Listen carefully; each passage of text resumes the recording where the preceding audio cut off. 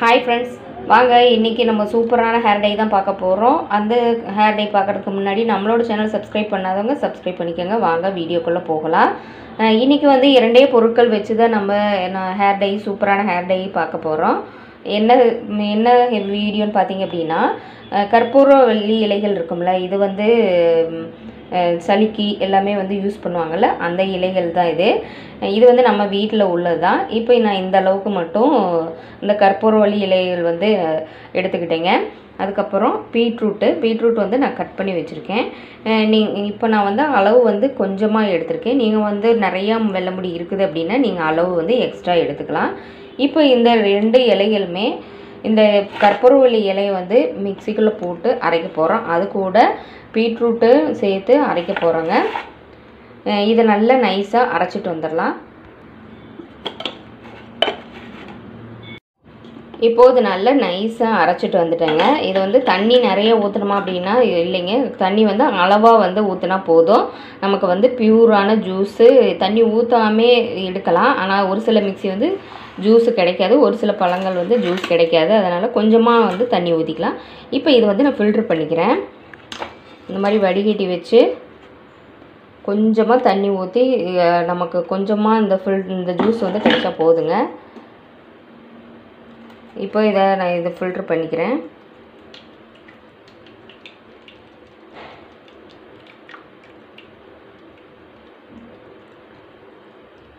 இதை நல்லா அந்த மாதிரி ஜூஸரில் வச்சு ஃபில்ட்ரு பண்ணிக்கிட்டேன்.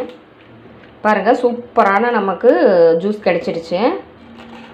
பாருங்க நல்ல ஒரு ஃப்ரெஷ்ஷான ஜூஸு அதிகமாக தண்ணியெல்லாம் ஊற்றாமல் நான் வந்து ஒரு கால் டம்ளர் அளவுக்கு தான் தண்ணி ஊற்றினேன் அந்த அளவுக்கே கிடச்சிருக்குது. அதுக்கப்புறம் அந்த பழத்தோட சாறும் நிறைய இருக்கிறனால அதில் ரெண்டுமே பீட்ரூட்லேயும் நல்ல தண்ணி வரும். அதுக்கப்புறம் கற்பூர் கற்பூரவள்ளி இலையிலையும் தண்ணி நிறைய கிடைக்குங்க ஃப்ரெஷ்ஷாக அரைக்கும் போது அதனால் நமக்கு நல்ல இந்த அளவுக்கு ஃப்ரெஷ்ஷாக ஜூ நல்ல ஜூஸ் கிடச்சிருக்குது. இதை வந்து இரும்பு கடாயை எடுத்துக்கிறேன். இதில் வந்து பார்த்திங்கன்னா அடுத்தது அவரி இலைப்பொடி நாட்டு மருந்து கடையில் கிடைக்குங்க. அவரி இலைப்பொடினா இண்டிகோ பவுட்ருங்க இதில் வந்து ஒரு ஸ்பூனை ஆட் பண்ணிக்கலாம்.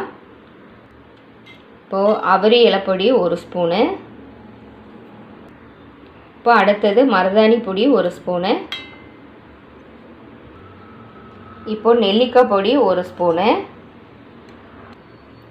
இந்த மாதிரி கருஞ்சீரகம் வந்து நமக்கு கடையில் கிடைக்குங்க. அதை வந்து நான் நல்லா வறுத்துட்டு பொடி பண்ணி வச்சுருக்கேன். இப்போ நமக்கு பொடி தான் அவசியம். நான் வந்து இதை இப்போ உங்களுக்கு காமிச்சேன் இந்த மாதிரி கருஞ்சீரகம் இருக்குன்னு இதில் வந்து வெந்தயமும் கூட நீங்கள் பொடி பண்ணி வச்சுக்கலாம். இப்போ நான் இதை வந்து நான் பொடி பண்ணி வச்சுருக்கேன். நல்லா வறுத்துட்டு அதை ஒரு ஸ்பூன் ஆட் பண்ணிக்கலாம். கருஞ்சீரகம் வந்து நான் ஒரு ஸ்பூனு அரைச்சி நல்லா எடுத்து வச்சுருக்கேங்க. நைஸாக அரைச்சி அதையும் வடிகட்டி எடுத்து வச்சுருக்கேன். அதில் ஒரு ஸ்பூன் வந்து ஆட் பண்ணிக்கலாம். இது இப்போ எல்லாத்தையும் நல்லா கலந்து விட்டுட்டு இப்போ நம்ம ஃபில்ட்ரு பண்ணி வச்சுருக்கோம்ல இந்த ஜூஸு அதை இந்த சார் கூட நல்லா கலந்து விட்டுருங்க.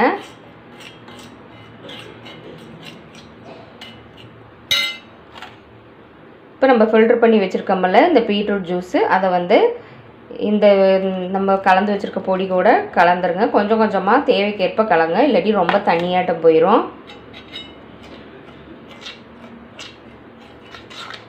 இப்போ இதுக்கு இரும்பு கடாய் தான் தேவைங்க. அதனால தான் நான் வந்து இரும்பில் தான் போடணும் அப்படின்னு சொல்லி சொல்கிறேன் இரும்பில் தான் இந்த பொடி எல்லாமே வந்து நம்ம லைட்டாக ஹீட் பண்ணும்போது நமக்கு கரெக்டான கலரில் பிடிக்கும். இது நல்லா கலந்து விட்டுங்க கொஞ்சம் கொஞ்சமாக இந்த ஃபில்ட்ரு தண்ணியை ஊற்றிக்கலாம் ஜூஸு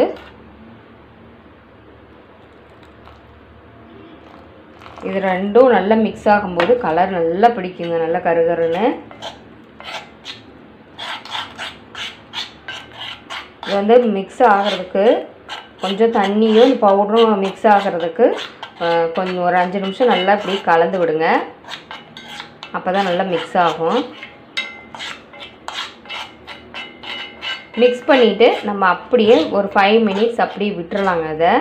அதுக்கப்புறம் நம்ம தலையில் ஆட் பண்ணும்போது இதை வந்து ஹீட் பண்ணி ஆட் பண்ணீங்க அப்படின்னா உங்களுக்கு வந்து தலையில் கொஞ்சம் ஜில்னோ இல்லாட்டி நல்ல ஒரு கூலிங் மாதிரி இருக்கும். ஒரு சில பேர்த்துக்கு வந்து சேராது. அப்படி இருக்கிறவங்களுக்கு இதை ஹீட் பண்ணி தலையில் தேய்ச்சிங்க அப்படின்னா உங்கள் தலையில் நல்ல ஒரு இதமான சூடு இருக்கும். லைட்டாக ஹீட் பண்ணி நமக்கு தலை எந்த அளவுக்கு பொறுக்குமோ சூடு பொறுக்கும்ல அந்த அளவுக்கு மட்டும் நீங்கள் ஹீட் பண்ணி தலையில் தேய்ச்சிக்கலாம்.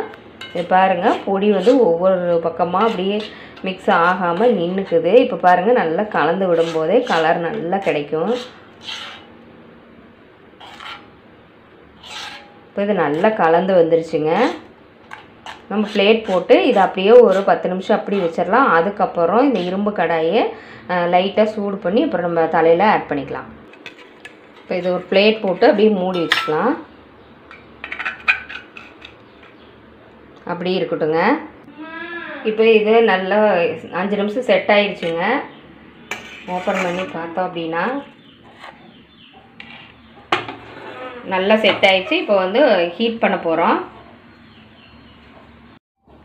இப்போ இதை அடுப்பில் நல்லா ஹீட் பண்ணிக்கலாங்க.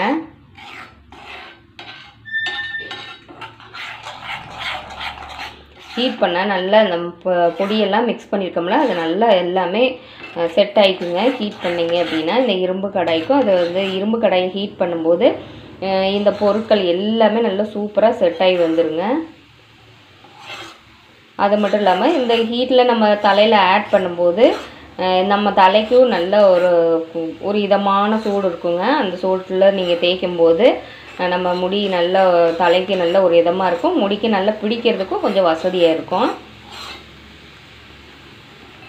போதுங்க. இந்த அளவுக்கு லைட்டாக ஹீட் பண்ணால் போதும். ஹீட் பண்ணிவிட்டு இதை நம்ம கொஞ்சம் ஆறட்டும். ஒரு அஞ்சு நிமிஷம் ஆறுனதுக்கப்புறம் நம்ம தலையில் ஆட் பண்ணிக்கலாங்க.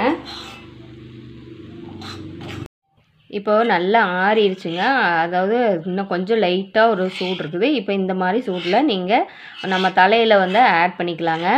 இதமான சூட்டில் தேய்க்கும் போது நல்லா தலைக்கு இதமாக இருக்கும்.